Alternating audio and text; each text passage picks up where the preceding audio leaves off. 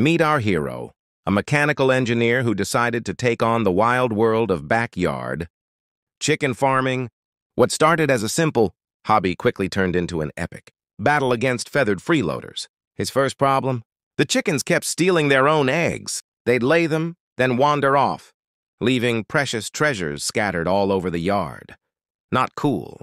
So, this genius inventor rolled up his sleeves and built a clever, automated egg collector. Watch as eggs gently roll down a ramp, guided by springs and chutes, straight into a safe collection bin. Problem solved, almost. Then came the next challenge. The chickens insisted on using their nests as toilets. Yes, you heard that right. Their idea of a cozy spot was also their personal bathroom. Gross. Our engineer wasn't having it.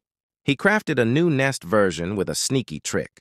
A fake egg to lure them in, and a hidden mechanism that automatically clears out the real eggs once the hen leaves. Genius.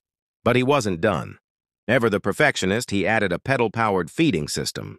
The chickens now literally earn their dinner by stepping on a pedal that releases food into their bowl. It's like a tiny clucking gym, and just when you think it can't get any better, he connected it all to a conveyor belt. Eggs roll from the nest, through the house, and deliver themselves right to his kitchen door. This isn't just a chicken coop.